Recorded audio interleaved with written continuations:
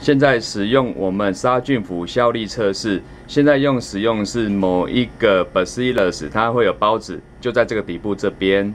那我们贴上一个灭菌的贴纸，代表说现在还没有进行灭菌。一般而言，一个杀菌服里面会有一个最低温的点，放进去杀完菌之后，呃，就像这样子，会有一个杀菌这边灭菌标签，表示它已经杀完菌了。好，接下来就是要把它压迫测试。